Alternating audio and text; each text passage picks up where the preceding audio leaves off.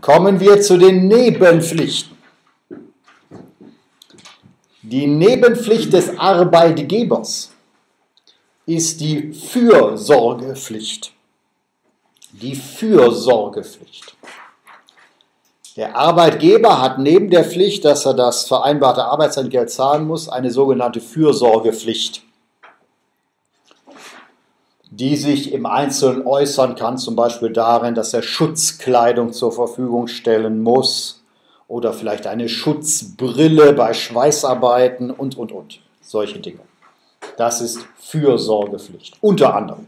Ja, Fürsorgepflicht hat, hat viele Facetten, aber das könnten Beispiele sein. Und der Arbeitnehmer hat als Nebenpflicht die Treuepflicht. Schreiben Sie es oben hin, weil die Treuepflicht wird jetzt noch ein bisschen spezifiziert. Wir brauchen also ein bisschen mehr Platz. Die Treuepflicht. Fürsorgepflicht auf der einen Seite und Treuepflicht auf der anderen Seite, wenn wir diese Polarisierung für den Moment mal übernehmen. Treuepflicht des Arbeitnehmers. Und was ist die Treuepflicht? Was jetzt kommt, sind also nur Präzisierungen des Begriffes Treuepflicht. Treuepflicht meint Verschwiegenheit. Verschwiegenheit.